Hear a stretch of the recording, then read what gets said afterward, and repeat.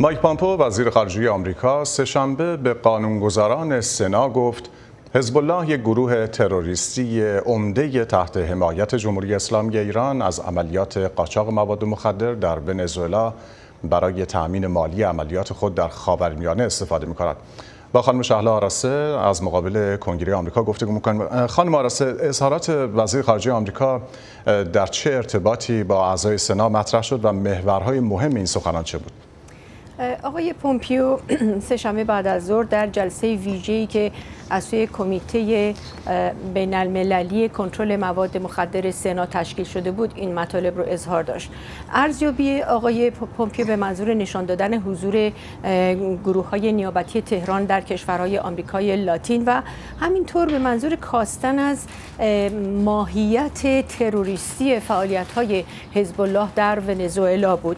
اما دستور کار این جلسه به ویژه در حول بحران قاچاق مواد مخدر به داخل آمریکا. از طریق مرزهای جنوبی آمریکا و همینطور از کشورهای آمریکای جنوبی بود و همینطور به منظور مبارزه با ریشه های جهانی در چارچوب جهانی مواد مخدر بود.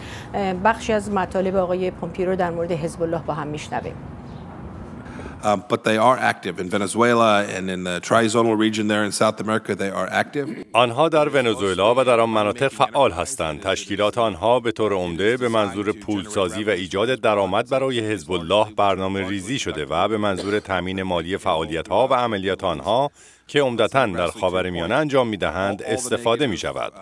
اما همه فعالیت های منفی و تبهکارانه در ونزوئلا مانند قاچاق و خشونت و پولسازی متمرکز بر قاچاق مواد مخدر نتیجه نقش حزب الله در آن کشور و در آمریکای جنوبی است.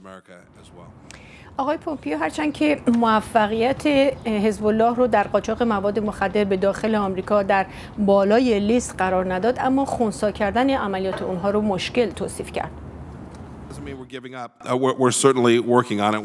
این به این معنا نیست که ما دست برمیداریم و ما مطمئنا روی آن کار می‌کنیم. افراد ما در مرز میان ونزوئلا و کلمبیا و برزیل و همه مکانهایی که بدان دسترسی داشته باشیم کار می‌کنند. اما مسئله این است که ما دیگر در ونزوئلا سفارت نداریم که این کار را مشکل می‌کند. اما کار نظارت، جمعآوری اطلاعات و تلاش برای شناسایی شبکه ها و کار در مورد آنها ادامه دارد. that. are active in Venezuela. And- چاک گراسلی و تد کروز دو سناتور ارشد جمهوری خواه در نامه‌ای که اواخر فوریه به وزرای خارجه دفاع و همینطور وزیر دادگستری و وزیر امنیت داخلی آمریکا فرستادند در مورد تهدیدهایی که حضور نیروهای نیابتی عوامل نیابتی ایران و افراد مزنون خارجی و فعالیت‌های تبهکارانه اونها در این مناطق به ویژه در ونزوئلا متوجه مرزهای آمریکا می‌کنه. گفتن نگرانی تنها در مورد ورود مهاجران غیرقانونی به داخل آمریکا نیست بلکه خطر نفوذ تبهکاران و عوامل تروریستی هم باید خیلی دقیق مورد توجه قرار بگیره.